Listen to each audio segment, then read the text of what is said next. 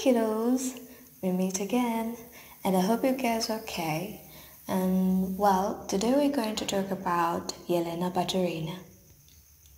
She is an international billionaire businesswoman and philanthropist of Russian origin. What do I mean when I say philanthropist?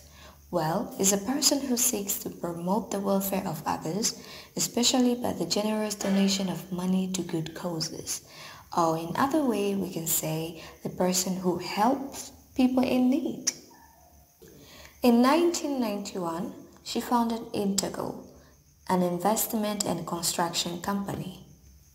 And according to Forbes, with a fortune of $1.2 billion, she was the richest woman in Russia. Ah, that's amazing. And now she owns a chain of hotels across the world. Yelena is also a social entrepreneur. And one of her statements is, it is impossible to achieve success without persistence. Well, I hope you learned a lot from today.